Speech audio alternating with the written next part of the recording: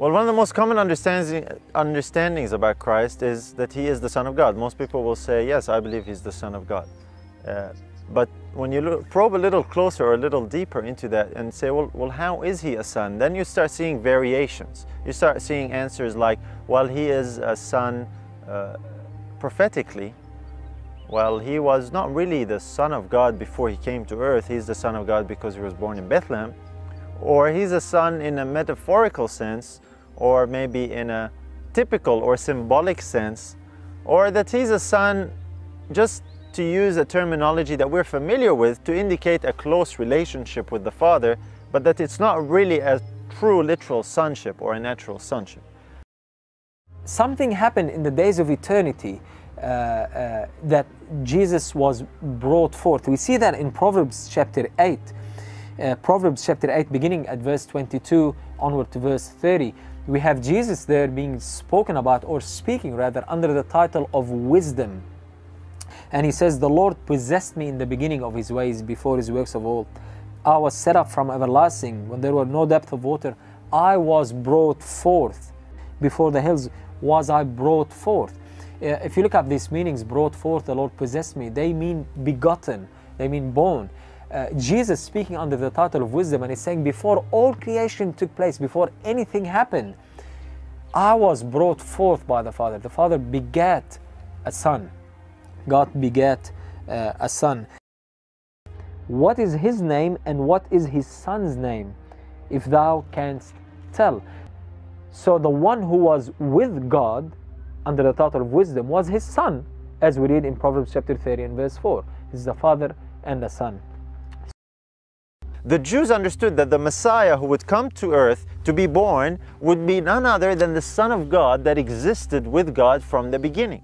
This is what's indicated in John 3:16, that God so loved the world that he gave his only begotten son.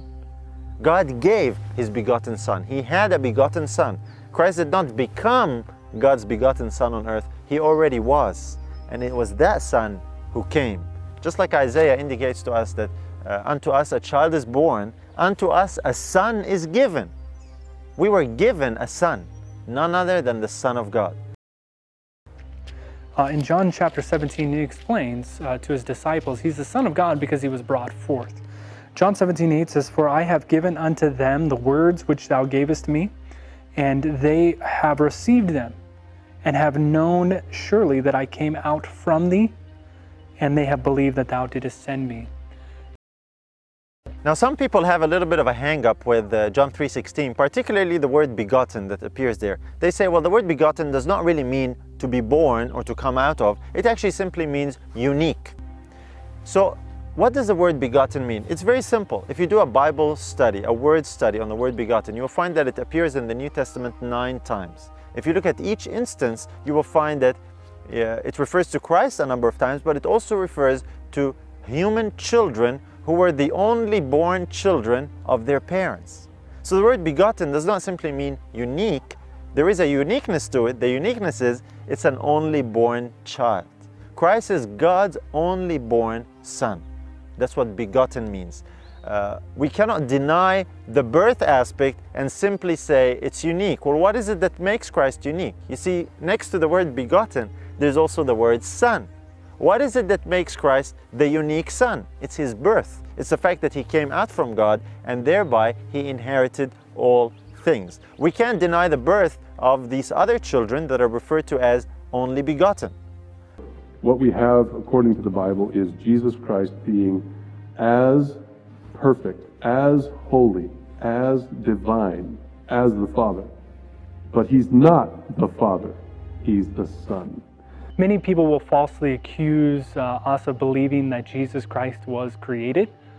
And this is further from the truth because right there in John 1 3, it says, All things were made by him, and that there was not anything uh, that was made that was not made by him. And so, if all things were made by him, that kind of excludes himself from being made. And so, Jesus Christ was not made, he was begotten uh, he was brought forth or born or came out of or came forth from the Father.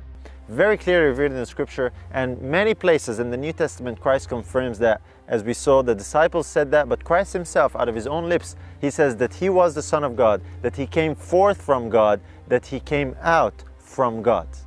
That is his most essential quality, and that's what makes him who he is and qualifies him to be the Savior and the Messiah.